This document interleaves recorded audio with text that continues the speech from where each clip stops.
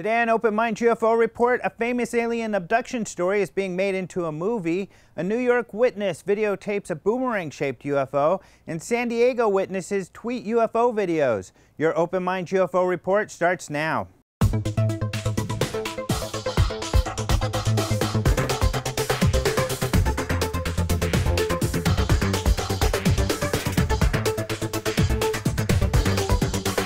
Hello and welcome to the Open Mind UFO Report. My name is Alejandro Rojas.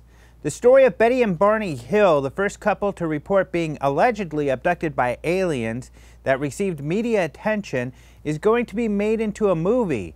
The movie will be based on a book about the incident written by Betty Hill's niece called Captured, the Betty and Barney Hill UFO Experience, the true story of the world's first documented alien abduction. The Hills reported their encounter in 1961. They said they saw strange lights and an object that followed them in their vehicle during a cross-country trip. At one point, they turned a corner and the craft was almost directly in their path.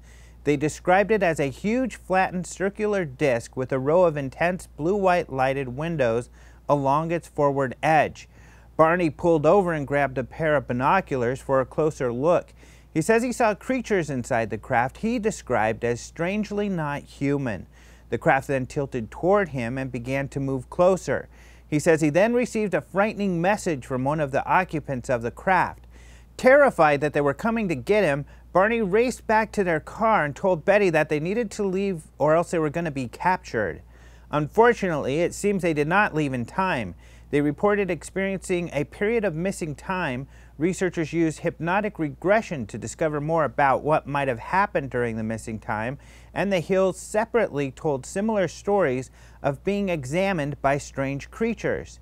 Betty's niece, Kathleen Marden, has spent a lifetime investigating the alien abduction phenomena, and in the summer of 2007 published Captured, co-written with nuclear physicist and UFO researcher Stanton Friedman.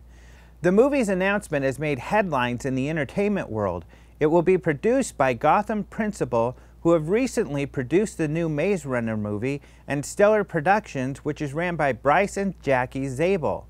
Bryce's previous UFO and alien-inspired work has included the NBC TV series Dark Skies, which was based on common UFO mythology, such as the Men in Black and Majestic 12. He was also the co-author of the book AD After Disclosure, when the government finally reveals the truth about alien contact. The book was co-written with UFO researcher and historian Richard Dolan. It speculates on the aftermath of the government admitting to decades of covering up UFO and alien events. We were able to catch up with Bryce and ask him about the project. So you just got back from the Emmys. I did. I go every year as a past chairman. I get lifetime tickets to the uh, primetime Emmys, and it's a pretty terrific, uh, pretty terrific thing to do. Yeah, that sounds pretty cool. It's it's great, and you know it was a good show this year. I think people at home enjoyed Andy Samberg, and and it was certainly uh, powerful seeing Tracy Morgan come out at the very end of it. A lot of people were very moved by that, so it, had a lot of uh, appeal. So the movie uh, captured. Yes. I guess why this story? Oh gosh, I captured to me is one of the best cases in ufology and always has been. I've been always compelled by it, learning about it even as a kid and just thinking it was a great story. But what particularly makes me want to make this film is that if you look at all of uh, the ufological reports of abductions over the years, uh, this is the first one. The, at least it's the first one that got a lot of attention. And so they were not telling a story based on reading somebody else's story uh, as you might suspect some people are today. So I look at it as a chance to go back to the beginning. And these people, Betty and Barney Hill, uh, seem to be salt of the earth um, kind of people, um, and and with no real intent to lie or distort. And yet they told this incredible story. So I want to look into that, and I want to tell their story uh, in a way that that people can make up their own mind about. Mm-hmm. And speaking of salt of the earth type of people, Kathleen Marden, yes. uh, her niece who wrote the book, she's, she's one of those people as well. And I don't think people realize she's got decades of research in this field. Absolutely. Uh, I, I, the book uh, was uh, something I was waiting for for a long time, a, a piece of uh, intellectual property that I could actually option that was based on independent research done by Stanton Friedman and Kathleen Marden. And as what I what I particularly like about it is it's got the the scientific aspect of it from Stanton, and then from Kathleen, it also has a lot of that personal uh, storytelling that that a movie needs to have. Where she was Betty's niece, and so I think she was 14 years old at the time this happened. So she's an interesting character in the film herself. Mm-hmm. And there are other political and social issues that uh, it looks like the film's going to tackle. I think that you you cannot look at Betty and Barney Hill's abduction in September of 1961. Actually, 54 years ago this week is when it happened. You can't look at that in a context just by itself.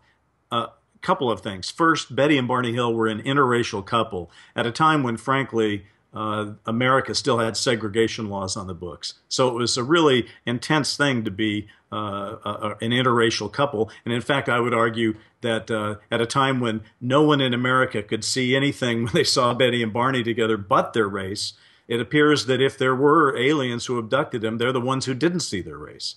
So there's the racial component. That's very interesting. But another component that I've never seen really talked about a lot, but that I think is important, is that they were right next to a nuclear bomber base.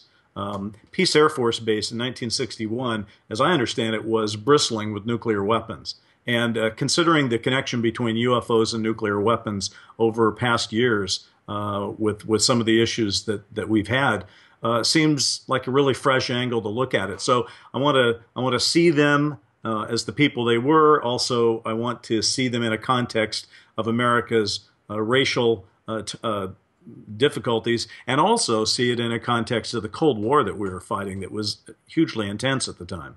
Mm-hmm. So, and it looks like the announcement of the movie last week has made a lot of press. I've seen it all over the place. Uh, is that unexpected? It is kind of unexpected. I I just thought that it was a good thing to talk about. Um, and and I was surprised, but but I guess I'm not surprised because it's a compelling story, and and I think that what this really shows is that a lot of people have been hungry for this story to be told in film, and uh, you know, granted, it was told 40 years ago as an NBC movie of the week. Uh, but it wasn't told well. I mean, at least the way that we can today. And I think there's new information clearly that has come out in all those years, and there's new information uh, all, and there's new techniques, for example, to bring it to life. So um, I, I, think that the explanation for why so many people cared about it is they want to see this done, and they really think it's an important case, as I do. Mm-hmm. And how long are we going to have to wait to see the movie? Well, that's um, that's always. Uh, that's something I don't control. Um, but I will say that the people we're in business with, which is Gotham slash Principal, um, is the production company that's uh, currently got uh, Maze Runner, uh, Scorch Trials out in theaters, which was the number one movie this uh, this past weekend. So they're not nobody, uh, and the fact that they're interested in doing it as one of their follow ups to these huge successes they've had with the Maze Runner um, movies, uh, I think that speaks pretty highly. We're obviously in the middle of uh, trying to put that whole package together so that the studios and you know so that we'll we'll bring it to fruition, and that takes some time, clearly. But we're a lot further along than we used to be. All right. Well, good luck with everything. It's really exciting news. Thanks, Alejandro. I really appreciate that, and and uh, thanks for having me on. I appreciate it. A New York witness at Port Jefferson on the North Shore of Long Island reported watching and videotaping a boomerang-shaped UFO moving overhead, according to a report submitted to the Mutual UFO Network, also known as MUFON, Witness Reporting Database. The witness says he was driving home from work when he first noticed the object at 10:30 p.m. on April 17, 2015.